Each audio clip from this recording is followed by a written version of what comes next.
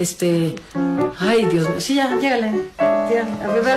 La hija de Lucero así la imita cuando se enoja. Lucerito Mijares, la hija de los icónicos cantantes Lucero y Manuel Mijares, se ha ganado un lugar en el corazón del público gracias a su carisma, talento y cercanía con sus miles de seguidores. La visita al programa de Jordi fue de confesiones, pues Lucerito Mijares no dejaba de dar unas divertidas anécdotas y es que una de las grandes revelaciones fue cómo es su mamá, la novia de América, cuando se enoja con ella. Así lo narró la princesa de México y contó que Mi mamá ¿Cómo te regaña? como que se desespera.